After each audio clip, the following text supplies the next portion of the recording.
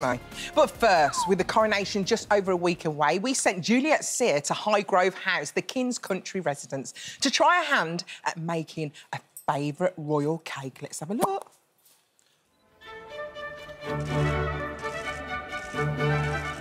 The whole country will come together to mark the coronation of King Charles III when he's crowned on May the 6th.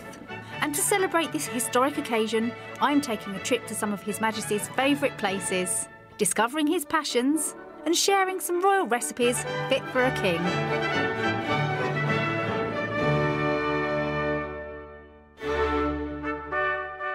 King Charles III is well known for his love of gardening and nature, so what better place to come than the grounds of his country home?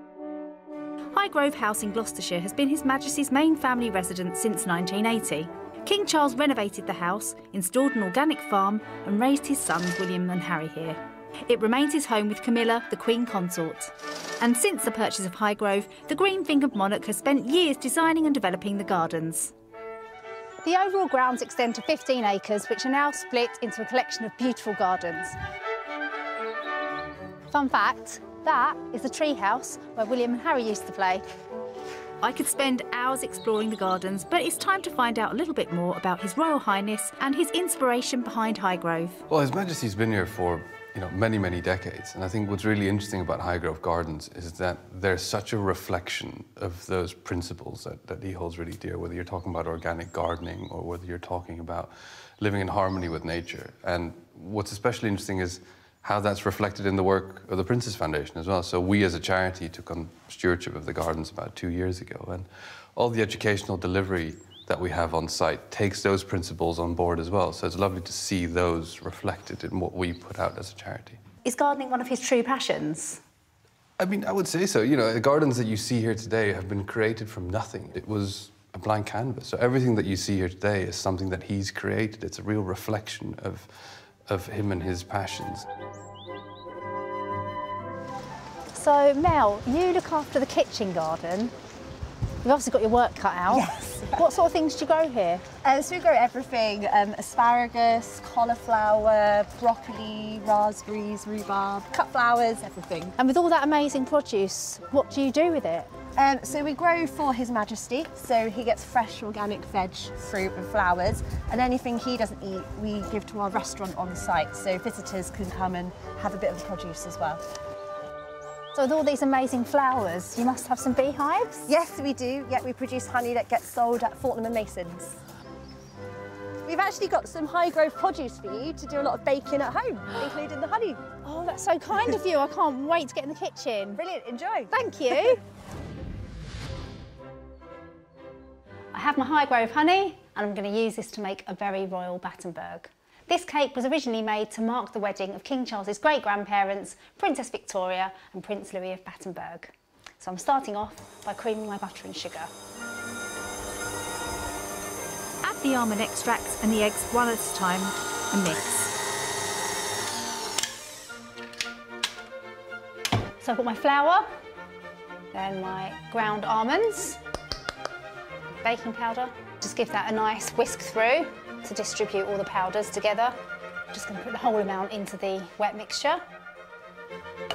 And two tablespoons of milk. Give it a mix.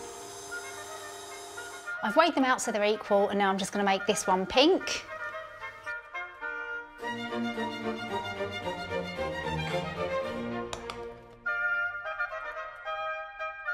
I've divided my tin in half with baking paper. Then just smooth down each half. So that's ready to go in the oven now at 160 fan for about 25 to 30 minutes until it's completely cooked through. Okay, so the cakes are done, they're all cooled down. Trim the edges and cut the sponges in half so you have four lengths. Clear down all the crumbs before you roll out your marzipan. Then dust the surface in icing sugar. I've warmed the honey so I can spread it nice and thinly all over the marzipan. Just wanted to bring a touch of Highgrove to this Battenberg cake. Carefully lift your first length of sponge. Stack the sponges to create a checkerboard effect. Spread over with some more honey. So you just want to sort of lift the marzipan up and over the top. Trim the marzipan to create a neat seal. And finally, pat the sides with cake smoothers or just use your hands to make it nice and straight. Just going to trim right through the sponge and the marzipan to create that nice clean edge. I've got one final touch, some little royal Highgrove honeybees as a nod to the honey inside the cake. A royal recipe with a salute to Highgrove. Oh, that was oh. nice, wasn't it? Have you got any Battenberg coming? No, babe, sorry. I'm so sorry. I'll make you one, though. Now that we know how to make it, I'll make you one. Wouldn't it be nice to go in those gardens? Imagine nice you need a bunch of flowers. You just go to the garden and get them. get 'em. Don't have to go to the shop, the florist. Mm, Prince Charles loves you. It'd be easy. so Why do I keep calling him Prince Charles? Oh, no, I know, King Charles. It's a lifetime of it, isn't it? It's, it's one of those things. More Battenberg. Well, listen.